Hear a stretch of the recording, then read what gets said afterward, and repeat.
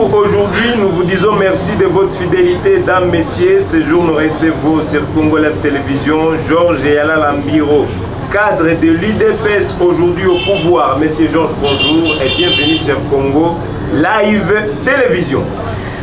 Et bonjour David et bonjour tous les Congolais, bonjour tout le monde. Bonjour les frères de Lubero, bonjour les frères de Beni et bonjour les amis de Kanyabayonga. Bonjour les frères de Rubaya, bonjour les Congolais de Massissi, les Congolais du Sud Kivu, du Nord de, de, de, de Tanganyika, de Maniema, du Grand Kassai, du Grand Oriental, de l'ex-Équateur, du Grand Katanga, du Grand Bandundu, du Congo central, euh, Kinshasa, ainsi que tous les Congolais de la diaspora. Je vous dis bonjour et peut-être bon après-midi, chacun selon où il se trouve. Nous vous disons encore bienvenue pour cette nouvelle émission et nous attendons vos critiques, vos suggestions et surtout, et surtout vos contributions, tant matérielles que morales et surtout psychologiques dans cette émission. Et pourquoi pas financière? C'est aussi contribuer à l'édifice que nous sommes en train de bâtir parce que dans la région du Grand Lac, les hommes comme nous méritent aussi mieux parce que nous donnons aussi les formations que les autres ne sont même pas en mesure de relayer. C'est pourquoi votre contribution est aussi la bienvenue. 37 ans d'élite, aujourd'hui vous êtes au pouvoir. Monsieur Georges, ma question, êtes-vous toujours fier d'être appelé partisan de l'IDPS En fait, je peux tout simplement vous chanter cette petite chanson. Combattant jusqu'à la mort, combattant jusqu'à la mort, combattant jusqu'à la mort. Je serai combattant jusqu'à la mort. Moi, je serai combattant de l'UDPS jusqu'à ma mort. Et je suis fier. Et l'UDPS, ce n'est pas, ce n'est pas, bon, ce n'est pas un mannequin. Moi, encore une épouvantail. C'est un parti politique le mieux structuré à idéologie en RDC. Il n'y a pas autre que l'UDPS en RDC. Et j'en suis tellement fier. Je me sens très bien d'être appelé combattant de l'UDPS. Chez nous, à l'UDPS, on s'appelle combattant. Dans d'autres partis, on s'appelle camarade. Nous, chez nous, on s'appelle combattant parce que nous sommes en train de faire un combat, une lutte politique. Un combat non violent une lutte politique non violente.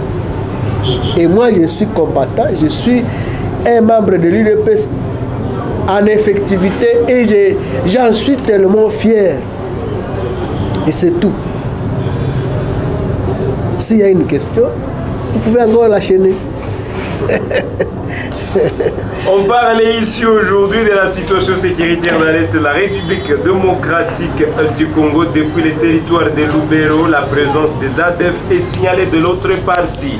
Plusieurs analystes indépendants estiment que les rebelles cherchent à tout prix à se rallier avec les ADF pour assiéger Kanyabayonga. Monsieur Georges, quelle analyse faites-vous à la présence des ADF signalés à Lubero Bon, tout d'abord, je vais essayer de faire une cartographie et une description des ADF qui ont attaqué Lubero hier.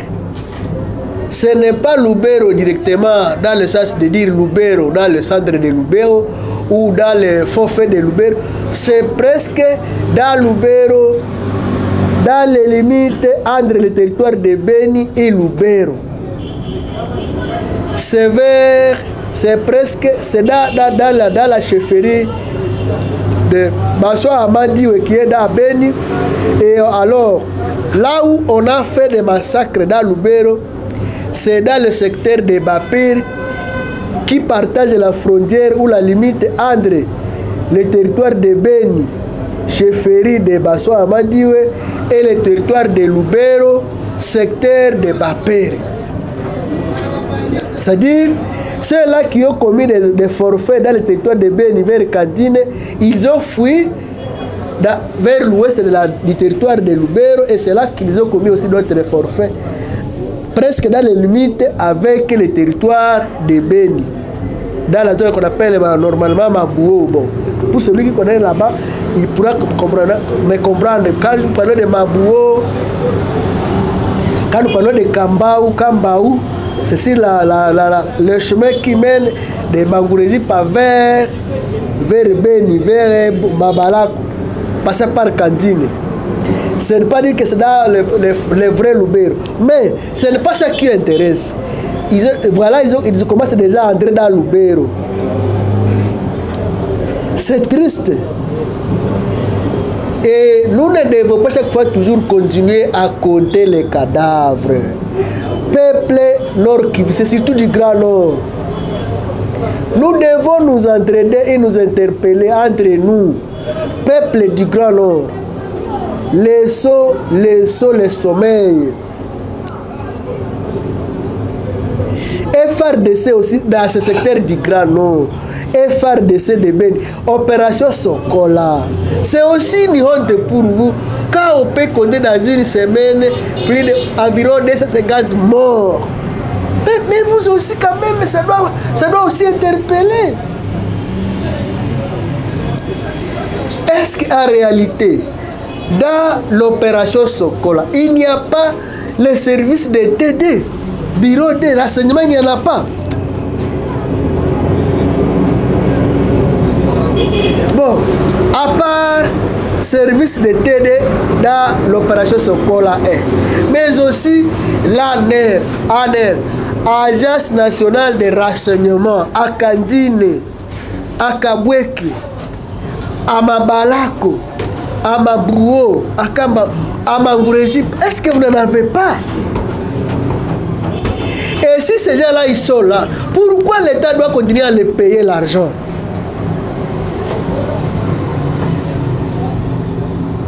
Bon, je ne suis pas en train de critiquer les gens, moi encore les services des gens, mais je suis en train d'interpeller la conscience.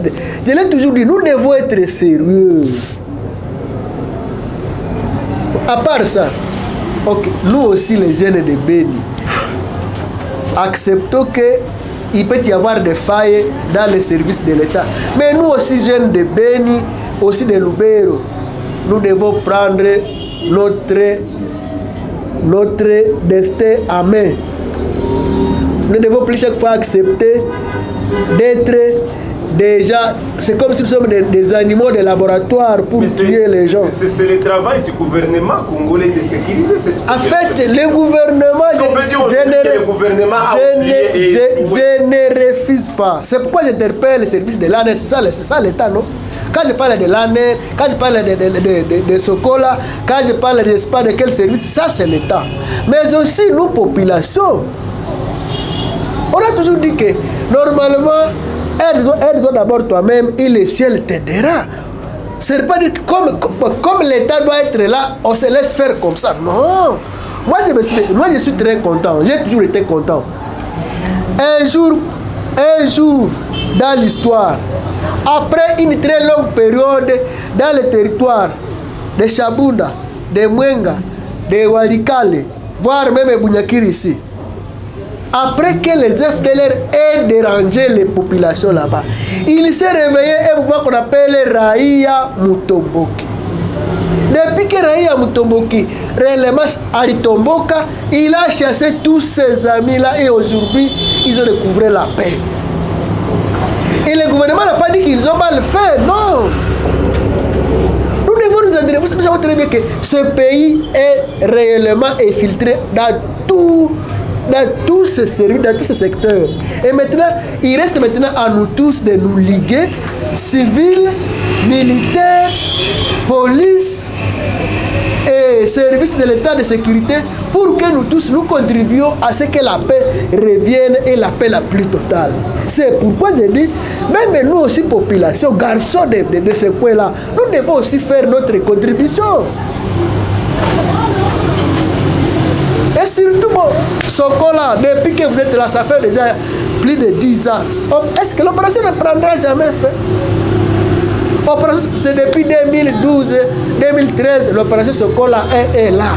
Et jusqu'aujourd'hui, l'opération Sokola est devenue opération Sokola. Mais finalement, non, on ne doit pas. Quand même, moi, les frères qui meurent comme ça, encore sauvage. Si c'était une maladie, on pouvait comprendre. Au moins encore peut-être, peut-être, au moins encore peut-être bon, une peste, soit peut-être une épidémie. Mais sous les coups des machettes. Non, ça c'est ça c'est qu'on appelle une humiliation inhumaine. Est-ce que Félix sait qu'on est en train de tuer L'homme le plus informé de la République, c'est le, le président de la République. Et ne croyez Parce pas qu'on a que... tué d'abord 100 personnes la semaine passée, il y a d'autres Et ne croyez, pas que, ne croyez pas que le président est content de, cette histoire, de ces histoires-là. L'homme le, le plus souffrant de cette histoire, c'est le président de la République. C'est lui qui est le plus souffrant et c'est lui qui est le plus malmené dans cette histoire. Et ce n'est pas Félix qui nous viendra maintenant faire l'année à Beni quand même. Ce n'est pas Félix qui viendra faire, qui viendra prendre la Karachnikov et taper sur les ADF à Beni. Et mettra ces gens qui sont là. Et surtout nous les jeunes de Beni, y compris moi-même, nous devons nous liguer. Nous devons nous liguer pour que la paix soit retrouvée, quel que soit le prix. Deux ans d'occupation de la cité frontalière de Bunagana, cela s'est réalisé hier. Est-ce que le gouvernement congolais continue à poursuivre des mécanismes Je pense que l'histoire de Bunagana, ça c'est une histoire déjà prise Deux ans, entre les deux. les deux ans s'est totalisé hier, monsieur. Deux ans, moi je sais très bien qu'au Mali, dans la ville de Kidal, l'ennemi Touareg a fait 11 ans. Après 11 ans, il a été délogé à deux semaines. Les gens, c'est c'est comme ça. Et les Mouniarwanda qui est là, les, les gens qui sont là, ces rebelles qui sont là, ils savent très bien que en un, temps ou l'autre, ils seront toujours délogés. Et ce n'est même plus très longtemps. D'ici là, ils seront délogés et ils vont fuir et finir de là où ils sont venus. Alors, le peuple Bounaga ne doit pas nous prendre beaucoup de temps. Tout le monde le sait qu'ils sont là, mais ils sont en train de violer la constitution. Ça veut très bien que quand nous allons maintenant réellement, peut-être la détermination la plus définitive, ils savent, ils savent très bien que nous allons les déloger encore d'une manière la plus brutale. L'Ouganda est accusé de, de- derrière la rébellion du M23. Cela a été démenti, un jour par le général chef d'armée ougandaise, qu'ils ne sont ni de près ni de. Les fils de Museveni. Aujourd'hui, les experts des Nations Unies font savoir que l'Ouganda est de mèche avec les rebelles du M23. Qu'est-ce que les Congolais doivent répondre Moi, je pense que si aujourd'hui les experts des Nations Unies l'ont dit aujourd'hui, le gouvernement congolais l'avait déjà dénoncé il y a de cela une année. C'est-à-dire, ils sont seulement venus, ils sont venus emboîter le pas du travail qui avait déjà été fait par le Parlement congolais et le gouvernement congolais. Alors nous disons, voilà maintenant les gens ne nous croyaient pas que, quand nous disions que l'Ouganda est aussi derrière le M23, on ne nous a pas cru. Voilà maintenant la, la première institution du monde commence aussi à démontrer que les, Ba- les Baganda, les, Banya- les, Ga- les Ougandais sont en train aussi d'accompagner la rébellion et nous faire la mort. Ils doivent savoir une chose. À Kisangani, ils ont fait la guerre entre eux. Ils ont tué les gens de Kisangani et aujourd'hui ils sont en train de payer les pots cassés. Et voilà encore bien de s'aventurer dans l'histoire de 1-23. Nous n'allons pas rester sans pour autant saisir la justice internationale. Ils devront aussi répondre de leurs actes. Moi, je me suis toujours dit, et ces pays frontaliers, mais, c'est comme si vous êtes des, sauvages, je vous appellerai peut-être des gens qui ne raisonnent pas. Vous nous venez d'un côté vers Beni, dans l'opération Souja, mais de l'autre côté, vous nous faites la rébellion aussi. Et finalement, vous croyez que nous, Congolais, nous sommes des bêtes? Attendez, la jeunesse congolaise est déjà éveillée. Et vous risquerez maintenant de subir ça d'une manière triple. C'est quoi le bilan de l'opération Souja? L'opération avait quand même de, de, ses, ses fruits parce que dans le territoire de Beni, quand on a commencé, il y avait déjà presque au moins 80% du territoire qui était déjà libéré.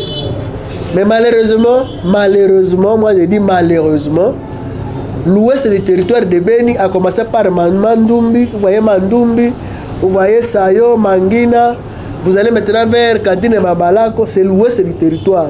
Mais l'Est est déjà pacifié. Quand nous prenons l'Est, nous prenons à commencer vers le sud.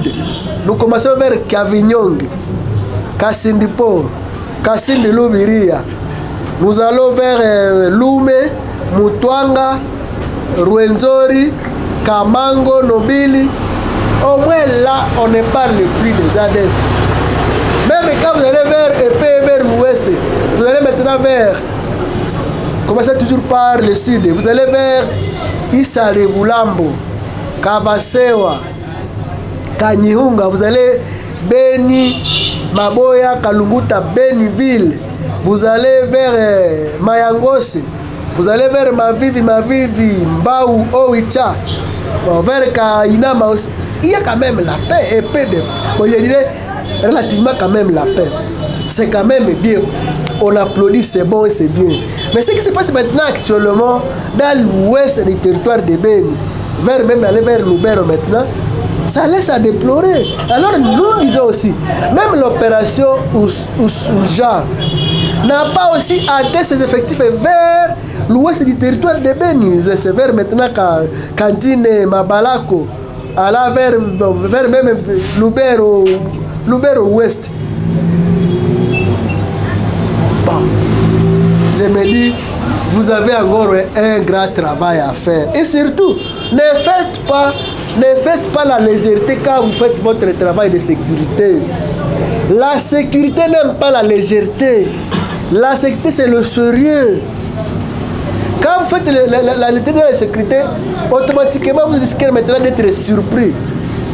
Et surtout que la guerre qui se trouve à Beni, c'est une guerre, une guérilla, une guerre asymétrique, une guerre là où on ne sait même pas d'où viendra l'ennemi. C'est pourquoi les services de renseignement doivent être bien outillés. Surtout aussi équipés. Bon, l'équipement aussi, ça, ça vaut mieux parce qu'on peut être à cantine et ne pas amener facilement peut-être le, le, le, message à Beni, là, au, au secteur, secteur, secteur opérationnel à Beni, Beni ville ça demande aussi des appareils. Un téléphone, par exemple, quelque chose qui est aussi bien adapté. Que moi, j'ai dit, vous devez maintenant adapter votre travail à la réalité du terrain. C'est une honte quand on peut dire, maintenant, accepter aujourd'hui les chefs des postes de l'année, disons, de la chefferie de Amadiou. Il va nous dire quoi? Le chef de poste de l'ANR de là, quand on va nous dire, bon, quand l'ennemi a été là, qu'est-ce que vous avez donné comme rapport? Le chef de la police ferries de Basso Amadiwe, Cantine, Cantine c'est une grande, une grande cité, une grande agglomération. Certes qu'il devait y avoir une police. Bon, le, le commissaire de la police est aussi de Cantine. Qu'est-ce qu'il peut nous dire aussi